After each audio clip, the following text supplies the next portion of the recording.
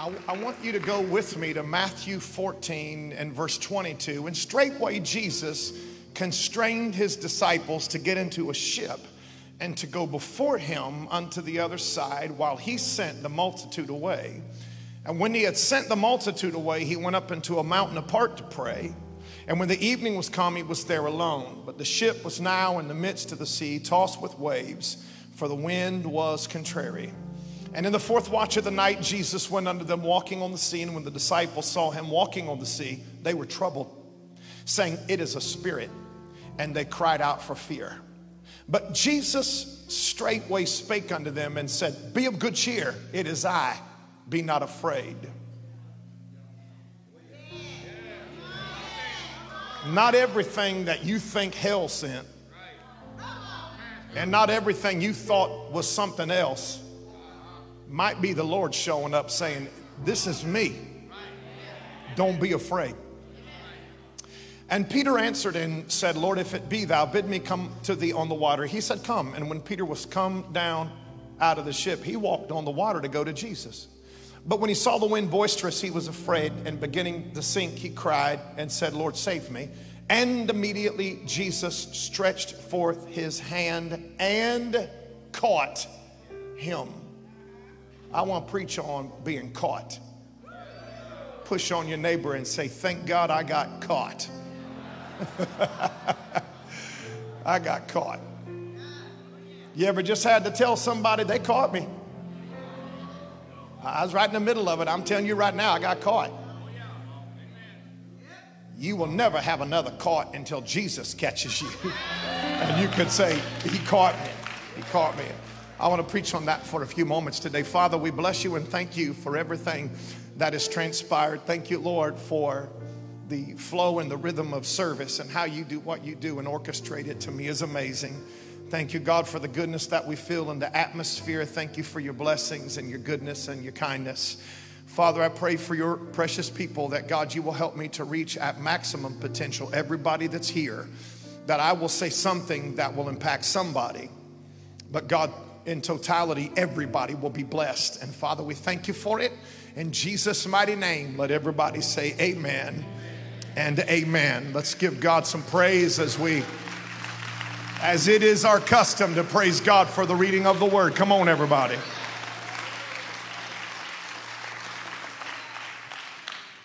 You know, it's amazing to see Jesus do miraculous things and people call it something else. Uh, they called it a spirit.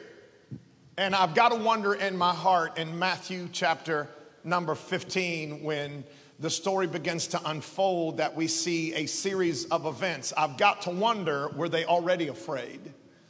When the winds hit, for the Bible says the winds were contrary, I've got to speculate in my mind, not assume, but just speculate a little bit, and maybe some assumption that perhaps they were already afraid.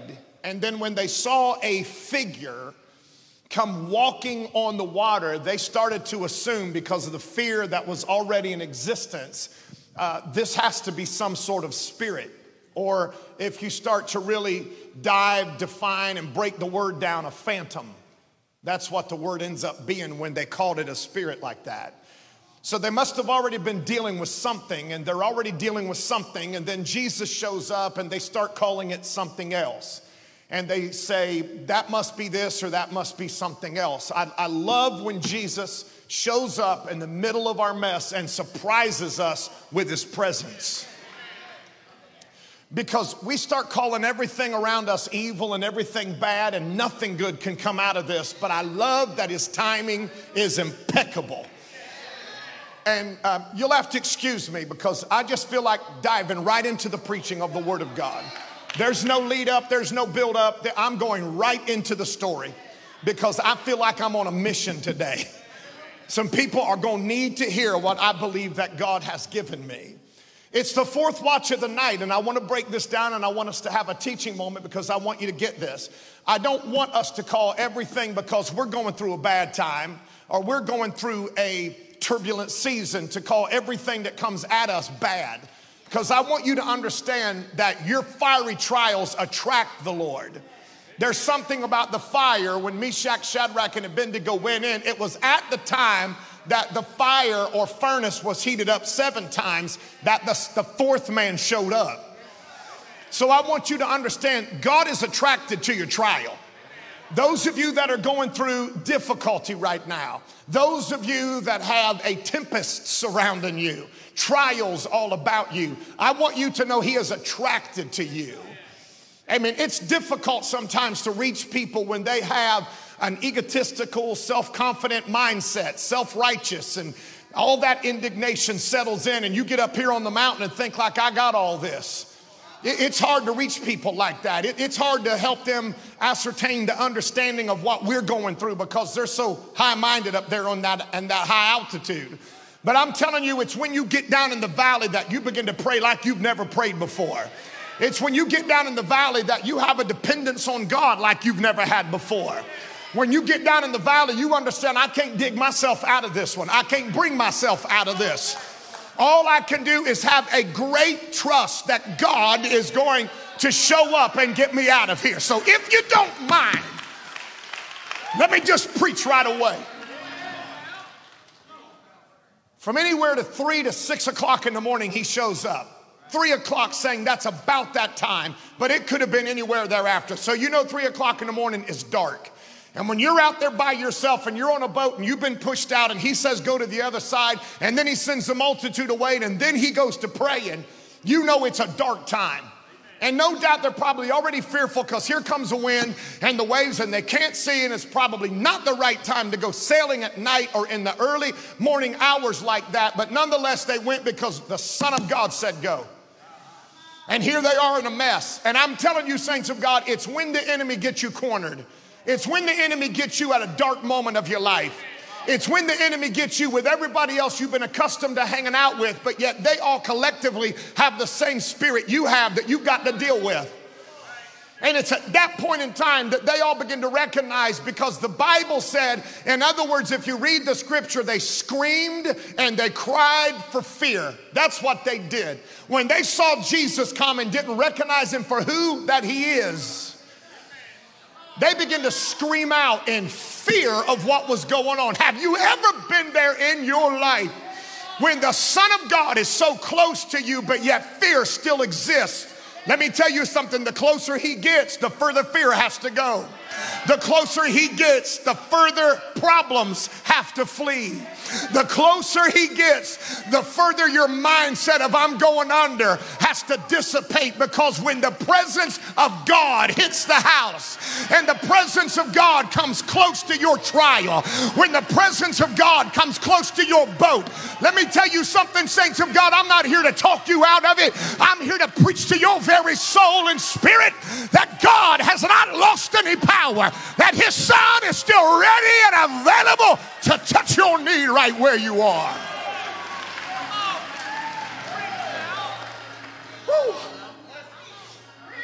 Cherry means opposed, as in character or purpose, completely different. The word contrary, uh, it caused the problem. The, the, the word that everything was contrary, that's what caused it. It wasn't the sea, it was the wind that hit it that caused the topsy turvy and the mess that was going on around them. But let me ask you a question Have you ever felt like in your life that Jesus has sent you away? And then once he pushed you off, then he sends the multitude away. And you're wondering, why is it, Lord, that you have to be separated from me? Why is it, Lord, that you have shoved me out into difficulty while you go up there and pray? And I wrestled with this because I thought to myself, would I rather have him with me or would I rather have him praying for me? I, I have had to struggle with this decision as a pastor. Does that family want me to be with them in the room or do they want me to be in my prayer closet calling on the Lord right now? It is a win win when you get to praying. And so if he was simply there with them, um, it would have been easy for them to say, Jesus, can you fix this? But sometimes what the Lord does is He creates space between me and Him. And when that happens, it causes me to trust Him more than I've ever trusted Him in my life. Now, I know I'm preaching to everybody right now because you're taking mental notes and you're taking physical with paper notes with a pen. and you're saying something along the lines is sometimes Jesus will leave you by yourself, not to just create space, but to produce faith. Sometimes there's some space between you and him because he wants you to understand that you've got to be dependent on me whether you feel me and see me or whether you don't. We need to understand that God is up to something in the midst of our trials.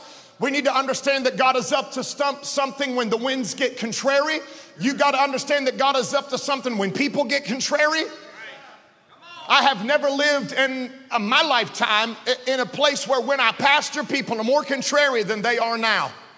They will turn on you. They will unfriend you. They will talk about you. They will stab your back. They will run you down. They will tell all your secrets. You can't tell them anything, or they'll run and tell their best friend, and their best friend's got a best friend, and they get to telling them, and y'all know what I'm preaching about right here. I'm telling you, saints of God, the longer I live, the more I understand. Can't nobody do you like Jesus. Can't nobody keep a secret like him. Can't nobody love you like him. Can't nobody keep you like Jesus can.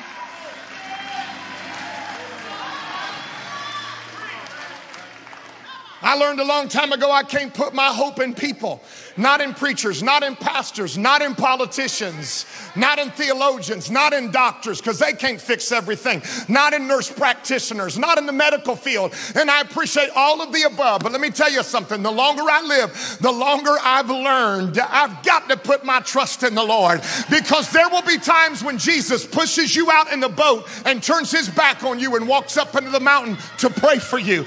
Let me tell you something, these are trying times, but God has not forgotten forgotten you. You might think Jesus is up in some mountain somewhere. When you ever gonna come down here, he will be there at the right time. But the reason he's creating distance is not for you to stress out, but it's for him to build your faith up to another level.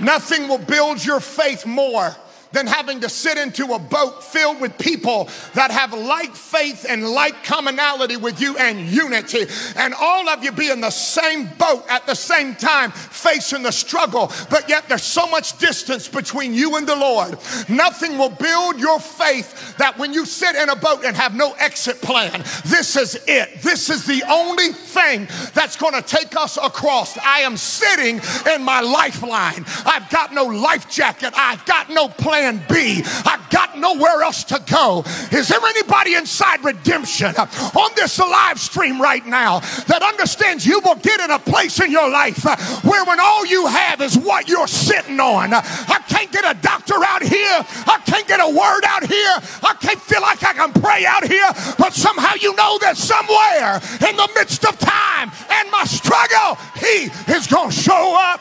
Anybody glad to know that when He shows up, He's always right on.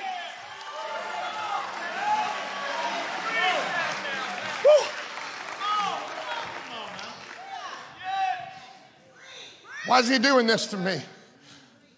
Where's he at? Where is he right now? I'm out here struggling and uh, he's up there praying. He's in the mountain and all my people's gone. All my people that a few hours ago we were laughing, cutting up, and getting healed and getting blessed. And there were prayer lines, and Jesus was laying hands on people. And now he sent us away. He sent us away from him. And I know it's getting quiet in here because you cannot ascertain in your fleshly, natural mind why Jesus would do us that way, but he still does. Sometimes you feel like he walks away for just a moment and I can't feel God. And don't sit there like you're so saved and beyond any problematic circumstances or trials that you tell me every minute of your living life, I feel the Lord. Hallelujah. Thank you, Jesus. Well, I'm glad you're so superman, superwoman spiritual. But I don't know about you, but there are times I feel like, where in the world are you at, Jesus? What in the world is going on in my life? I can't seem to get a prayer through and life is contrary right now and things are happening that I don't understand. And I don't know why you would be over there when I'm right here messed up. But always, right in the midst of time, even more things start to show up and you think that's the enemy. And sometimes, let me tell you, in the midst of your adversity, Jesus shows up to surprise you, not to scare you. He shows up to let you know I knew what you were going through. I knew what was going on. I was up there praying and I felt like I need to get to my people. Let me tell you, when it looks like the boat is about to capsize, is right about the time that God always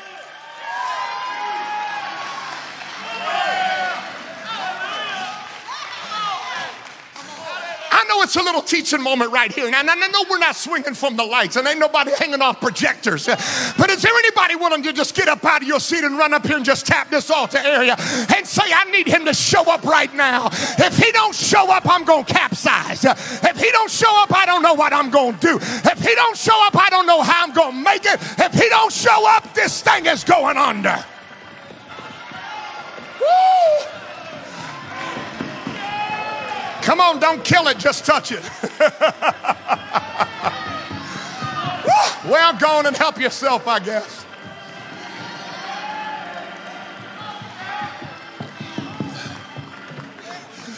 Can I get a witness in the house?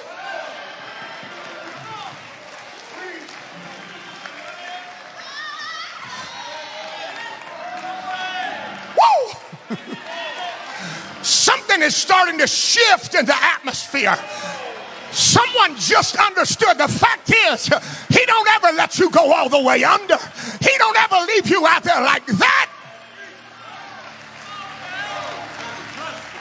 Push your neighbor and say, Isn't it faithful? Doesn't he always show up right on time? Doesn't he know exactly what you need when you need it? Doesn't he always come through? Doesn't he always?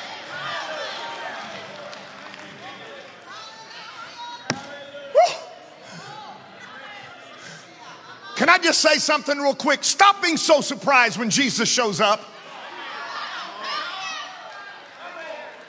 They got to the point that when the answer started walking toward them, they started screaming for fear. These bunch of grown men, disciples, started screaming for fear. So, right away, that allows me the boldness and courage to look at you with my feet flat, my eyes open, and hand in a microphone with the Bible unfolded before me and tell you, you're not always going to have life perfect. You're not always going to have extreme impeccabilities all around you. There's times you're going to struggle, and there's times you're going to feel like he's up some mountain, but he's right there. But he's right there.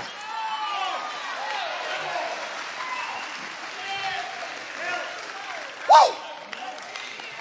Stop sh- shouting, What is it? Stop saying, Who is it?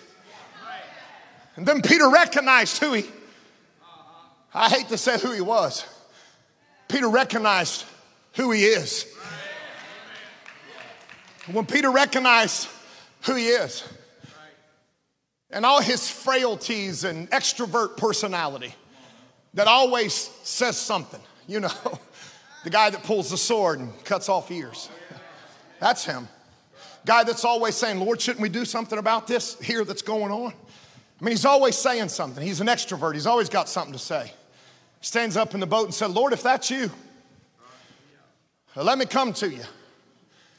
And Jesus, why? Why? Why? Number one, let me say this. Good job, Brother Peter.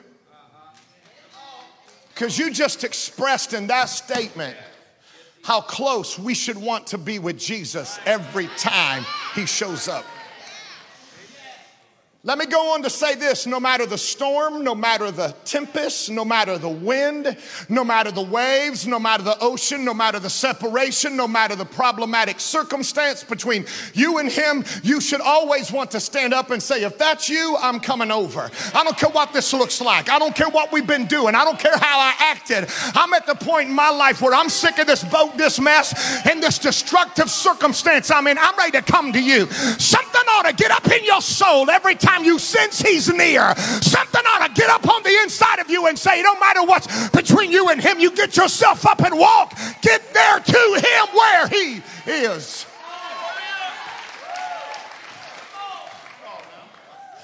I don't want you to come here and try to get close to me. And I don't mind that with all due respect. But I want you to come here and have a hunger to get close to Him.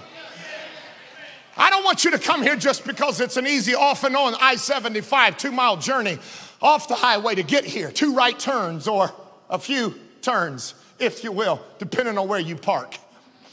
I want you to come here because Jesus is in this house. I want you to come here because I've been through some hell and high water and the winds are contrary and my family has written me off and the world has written me off and I don't know if I'm ever going to come up for air. I'm about to go under, but I know if I can get to him, it's going to be all right. And whatever it is between me and him, I'm going for it. I am going for it. Let me just preach a little bit more right here to the edge. I'm about to build me something where I can go out a little closer. But while I'm here, let me just tell you, you ought to say, no matter what is going on in my life, Jesus, do you mind if I come over to you? Uh, this thing of being where your people ain't working. I just need to get to you.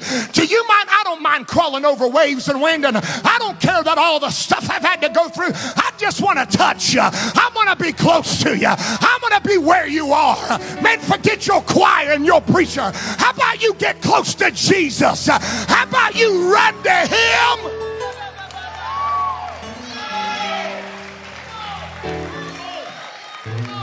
Woo! Can I keep on preaching? Come out from under religious protocol. Come out from under programs and ritualistic ideas religiously that have led you to the place where you are bound and broke and, and cannot get free. Get out of it. Just get to Jesus. To everyone in this tabernacle, I don't know your dilemma, I don't know your struggles, but I know a man who can take you right how you are I know a man that can bring you from fearful of I'm going to die and capsize in this boat to one moment later, can I just come to you? Do you mind if I just touch you? Do you mind if I? He, they knew about that woman with the issue of blood. They knew about the lepers he had cleansed. They knew about the blind eyes he opened and the thousands he fed. He knew about Jairus' daughter.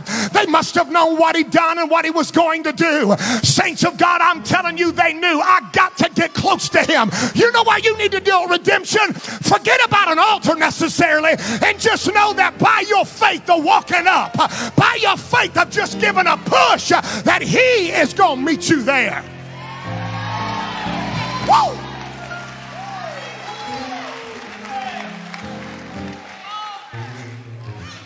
Come on.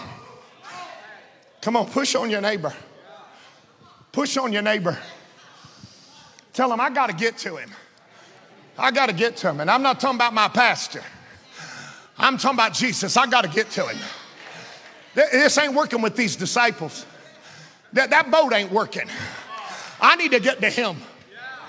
Sometimes your church can't do it. Sometimes your fellowship with the hierarchy can't do it. Sometimes you've got to position yourself in a place where I just need him. If I could just touch him, I would be all right.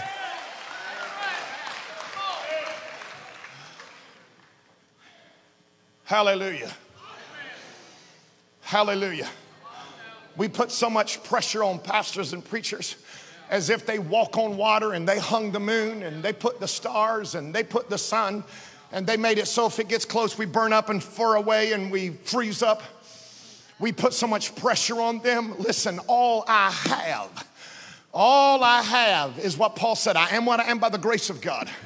All I have is Jesus on the inside, still working on the outside. Oh, what a change in my life. Hallelujah. All I know is I pressed through the crowd, reached up and touched Jesus.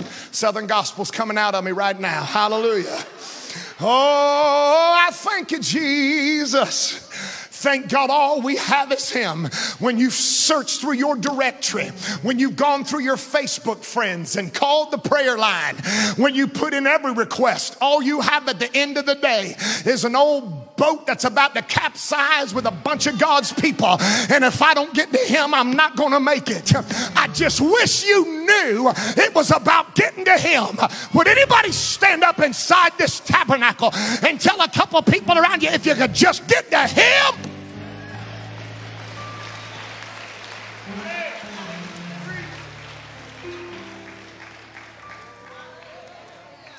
High five a couple people around you, and I'm gonna try to bring us in for a landing. Looks like I'll have you on the ground in 12 minutes, ladies and gentlemen. It's 87 degrees and partly cloudy in Dayton, Ohio. We'll have you out that door in just a few moments. Hallelujah. In the meantime, let me preach about being caught. Caught. The greatest picture to me, the Lord started laying this message on my heart. And when I looked at it, I literally scrapped 90% of the notes I had on this message, got rid of it. And I began to pull from everything that God kept showing me in this story. First of all, the greatest picture of grace. You will hear me talk about grace often. Not as you, not as much as you do some TV preachers that that's all they talk about. It's what we all call hyper grace. That you can do everything you want to and then still claim the grace of God. That's a bad spirit. That's like being in a marriage and reminding your wife after you've messed up on her 55 times in two months. Grace, baby. Grace, baby.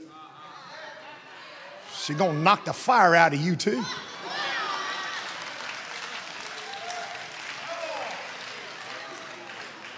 And, and then she gonna hook, then she gonna find your, your, your, your side piece.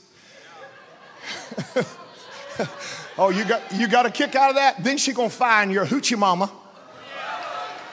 And she gonna rip her weave out. Or, or for you white people, she gonna grab them extensions and she gonna swing her around. She gonna swing her so hard, them big old eyelashes that come clear out to here that scratch that forehead. She gonna rip them out too. Y'all get grace now. Y'all get grace. Okay, we gonna edit. God, I got security standing up now. uh, uh, stand up, please. Pastor is gonna get a book thrown at him. Thank you. Let me tell you about grace. Grace is when you love him. Grace is when you want to be with him. Grace says, I'm sorry, Lord, I, I did not believe like I should have. Lord, I'm sorry I've been in this boat and I just followed along with all your other disciples and was screaming like they were. God, I'm, Lord Jesus, I'm sorry. Can I come and see you? I got to touch you. And Jesus said, Come. And Peter stepped out of the boat and starts walking on the water. And it was about the time that he got his eyes off the Lord and he got focused on what was going on around him. And Jesus knew it. And Jesus went over and caught him. I don't believe Brother Peter ever went under. I believe he was on his way under in a bad circumstance. And Jesus caught him.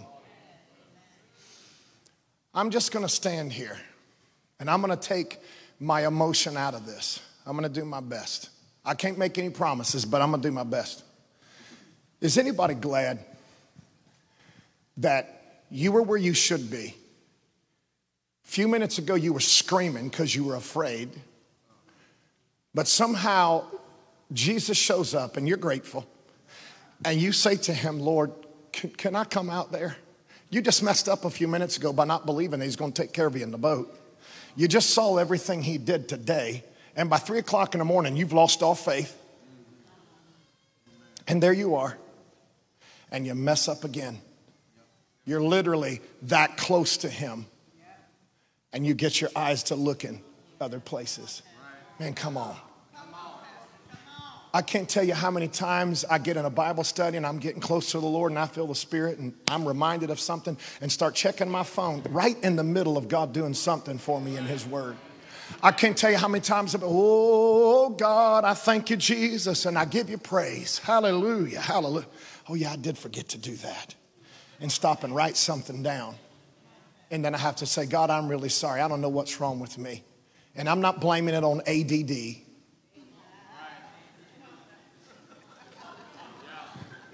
Come on, can I just preach to you? Old brother Peter knew when Jesus said, Come, it meant go.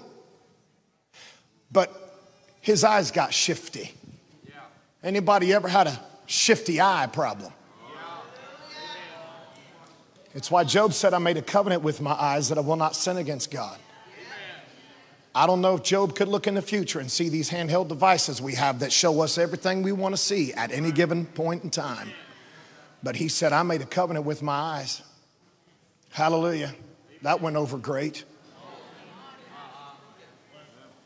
I'm just asking you the question. I'm just asking you. Okay? I'm going to hit all y'all today. Is anybody thankful? that when you just got wiped off, eh, you just got dusted off, you just got another chance at it, and you walked out there that close to the Lord and you started looking around at everything around you instead of continuing to trust Him, that He didn't stand there and ditch you and say, Get what you deserve and have it your way, Brother Peter. You're always talking, always saying something now. Have fun going under because you're about to die. Instead of doing that, he walked over and caught him That is nothing but the grace of God. That is nothing but the grace of God. I can't help it. I'm trying to take my emotion out of it, but I can't now. There ought to be a whole lot more people standing up right now saying, Thank God he caught me one more time. Thank God he caught me.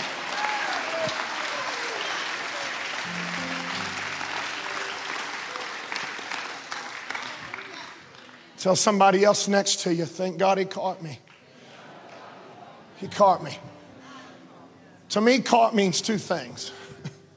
Number one, he caught me looking somewhere else. Number two, he caught me getting afraid again.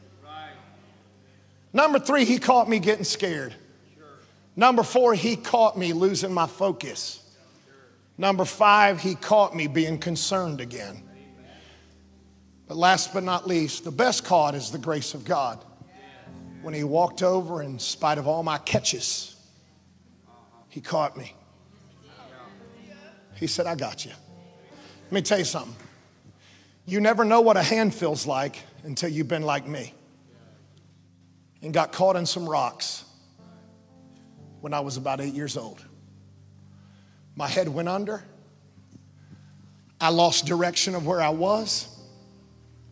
I started swallowing water, started going up my nose. My foot stuck and caught. And water that was over my head and underneath stuck. And all I could do was reach.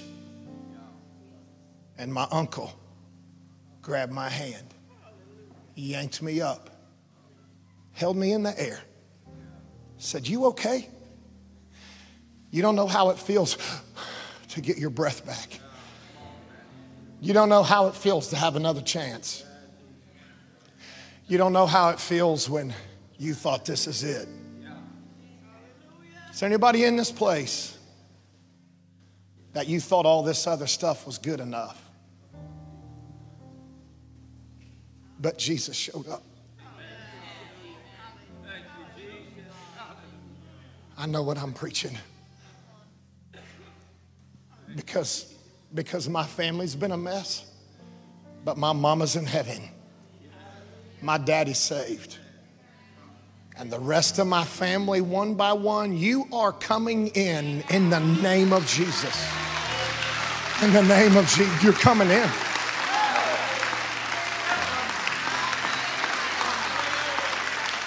He caught me. He caught me. There's a man that must be 52 years old by now, maybe 53. There's a man somewhere in the United States that needs to look me up and thank me. because I was in a swimming pool and I happened to look across and see him at the bottom of the pool. And I swam underwater as fast as I could and I grabbed him and I swam up to the top and his mom screaming at the edge of the water. And I swam him over. And I think it was probably about that time that said, You're to be a good preacher because you're going after people on the bottom. You know what the Lord is saying today? Thank God. Thank God that He gave us another chance.